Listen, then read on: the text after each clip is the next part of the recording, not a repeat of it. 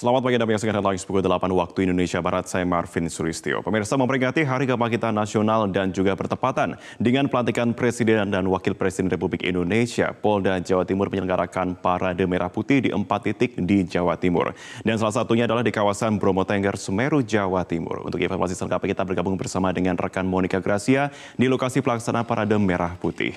Monica, selamat pagi. Bagaimana penyelenggaraan Parade Merah Putih yang berlangsung di sana?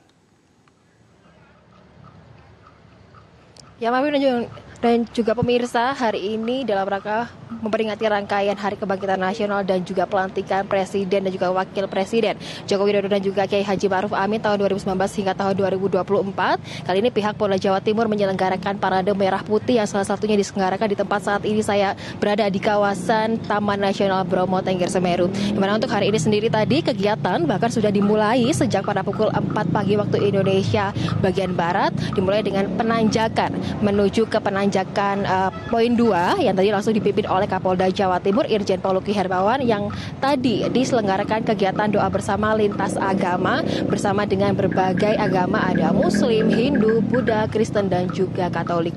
Di mana tadi uh, untuk kegiatan yang dilaksanakan oleh pihak Polda Jatim dan juga Forkopimda ini terbagi Marvin dalam empat wilayah.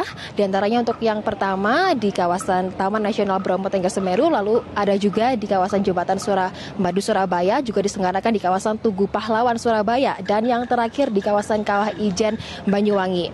Tadi juga kegiatan selain ada doa bersama, tadi juga uh, kegiatan diselenggarakan dengan adanya pembentangan bendera merah putih di kawasan Padang Savana, uh, kawasan Bromo, Tengger Semeru, dan juga flash mob yang diikuti oleh sekitar mungkin hampir 5.000 masyarakat yang menggunakan pakaian merah putih. Seperti yang terlihat di belakang saya, Manafin kali ini meskipun badai debu terjadi di kawasan Bromo, Tengger Semeru, namun tidak menyurutkan uh, niat masyarakat untuk merayakan pelantikan Presiden Joko Widodo dan juga uh, Wakil Presiden Kiai Haji Ma'ruf Amin yang kali ini puncaknya diselenggarakan di kawasan Bromo Tengger Semeru.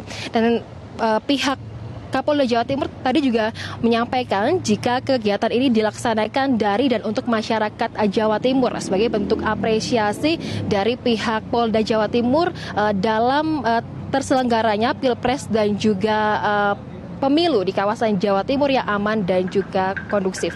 Tadi juga dikatakan oleh Kapolda Jawa Timur jika untuk kali ini ada sekitar 1.700 personil baik dari pihak kepolisian dan juga TNI yang turut mengamankan keamanan Jawa Timur uh, dalam pelantikan yang hari ini dilaksanakan di Jakarta. Dan berikut merupakan kutipan wawancara kami bersama dengan Kapolda Jawa Timur Irjen Poluki Hermawan.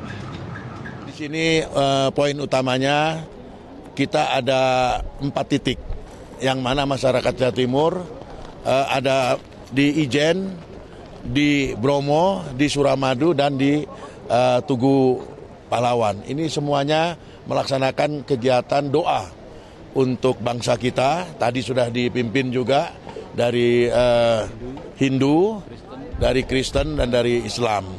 Dan kita serentak sama mendoakan untuk bangsa kita hari ini dan mudah-mudahan dengan uh, telah dilantiknya nanti Indonesia ke depan semakin maju, semakin bisa bersaing dengan negara-negara lain.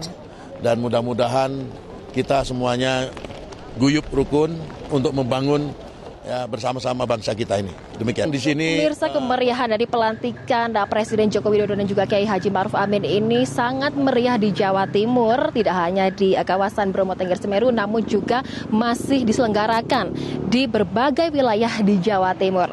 Untuk sementara Marvin kembali ke Anda di studio.